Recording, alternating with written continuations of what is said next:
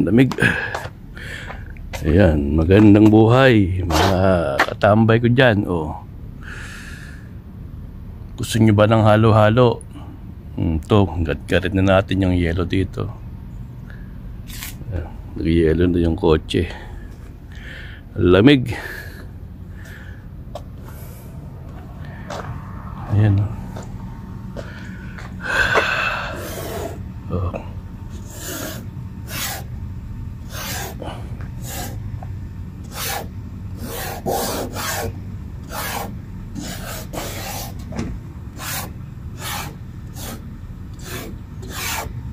Ayos.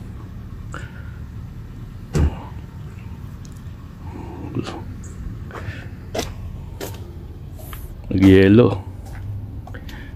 Yung matagal tayo bago makaalis dito kasi kailangan matunaw muna yung yelo niyan. Hindi tayo makapag-drive ng ayos.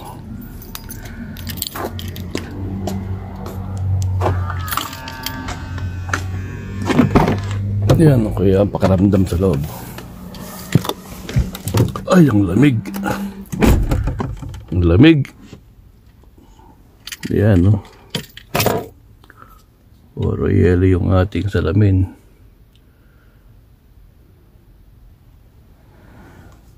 Ayan, ang ganda ng ano.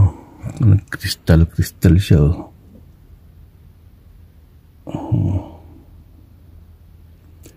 Yan ang itsura ng yelo pala pag sa salamin. No? Ganda.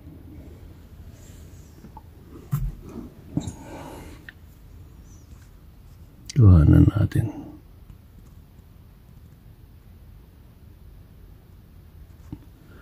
Ayan. Malamig dito.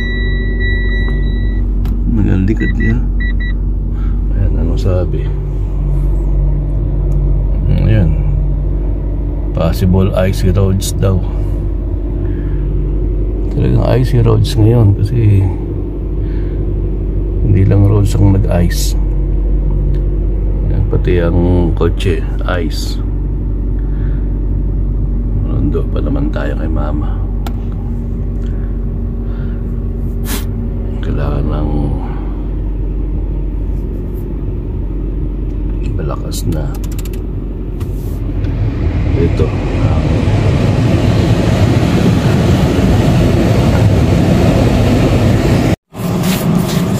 Yan yung matanggal na yelo sa ating salamin no?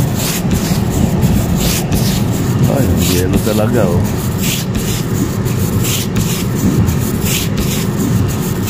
Yelong yelo kaya man makapag-drive ng ganyan kakapalang yelo sa salamin hindi sobrang delikado.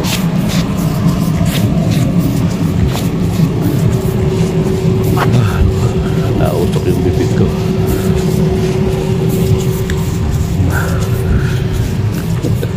Parang nagyos yan ayan medyo kita na siguro yung daan yan kailangan manundo Sige po, dito muna tayo. Nanundo muna ako. Ingat kayo lagi dyan. Bye-bye.